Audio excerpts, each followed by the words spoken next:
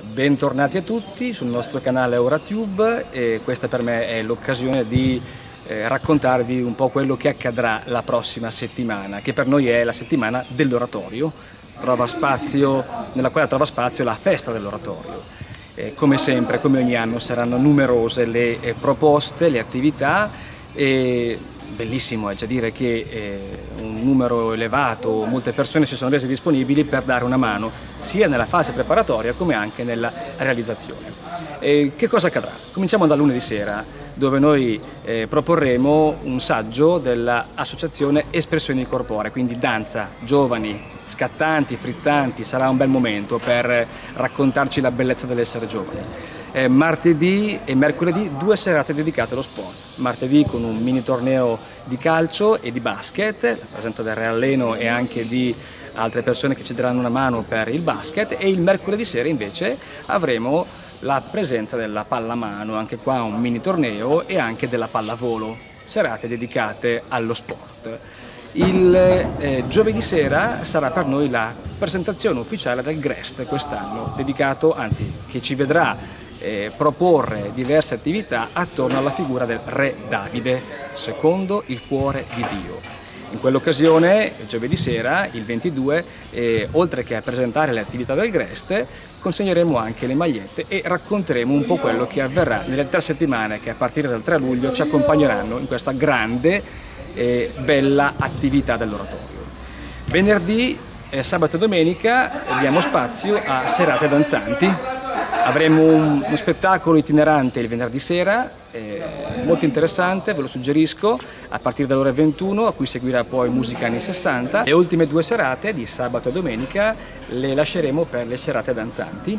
Il sabato sera il nostro amico Giampi, eh, con la sua associazione Doppio Passo, ci allieterà con un po' di danza, un po' di latinoamericano, un po' di danza classica, vari generi mentre domenica sera daremo spazio al liscio, così che anche le persone che hanno un'età più importante potranno essere soddisfatte nelle loro esigenze. La variazione rispetto allo scorso anno è che quest'anno l'elemento più importante che per noi è la Santa Messa l'abbiamo spostato dal giovedì sera alla domenica mattina, quindi ci troveremo in oratorio domenica mattina alle ore 10 per la celebrazione della Santa Messa. È chiaro che eh, in tutte le serate è possibile avvalersi del, dello stand gastronomico, quindi a partire da un fast food nei, giorni, nei primi giorni eh, si passerà poi ad una vera e propria ristorazione negli ultimi quattro giorni, dal giovedì alla domenica.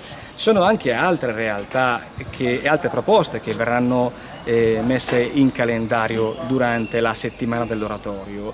per esempio eh, potrete eh, visitare una mostra fotografica nella stanza dell'Aula Verde dove ci sarà una sorta di salto nel passato dove andremo a ripercorrere e rivedere alcune esperienze che hanno segnato la vita del nostro oratorio anni fa. Altre proposte sono fotobox che eh, nient'altro è che l'opportunità di farsi scattare una fotografia simpatica e questo è un contest dove chi partecipa potrà anche vincere, messo in palio qualcosa. Quest'anno Prima volta la festa dell'oratorio utilizza materiale compostabile, quindi tutti i discorsi legati a plastica, smaltimento e rifiuti verranno eh, affrontati in modo differente. È per dare un segnale importante alla eh, tutela del creato, la salvaguardia del creato. Vorremmo eh, lanciare questo messaggio così che possa essere magari l'opportunità anche per le altre feste per utilizzare materiali che siano compatibili con eh, un riciclo naturale delle cose. E come ogni anno abbiamo anche la pesca di beneficenza e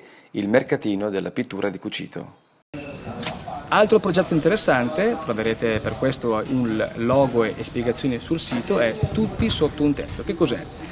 È un progetto che eh, destina e impiega le risorse che verranno raccolte dalla festa dell'oratorio per sostenere le spese per il rifacimento del tetto d'oratorio. Quest'anno questa parte dell'oratorio ha eh, avuto un intervento notevole per eh, riparare quelle che erano perdite consistenti che creavano problemi per il nostro oratorio. Quindi ogni anno noi destiniamo delle risorse per alcuni progetti particolari, quest'anno quello che ricaveremo da questa festa verrà destinato per sostenere queste spese. Quest'anno un gruppo di giovani si è reso disponibile anche per gestire l'area la, eh, dei giochi con i gonfiabili, con un parco di macchinine e trattori, con un calcio balillo umano, quindi daremo spazio ai ragazzi perché possono essere anche in questo caso protagonisti nel dare una mano alla festa dell'oratorio. Per chi volesse informazioni ulteriori può sempre fare riferimento al nostro sito oratorioreno.it e per chi volesse mantenersi in contatto in tempo reale con i nostri social può utilizzare l'hashtag FO17. Ciao a tutti e buona festa dell'oratorio!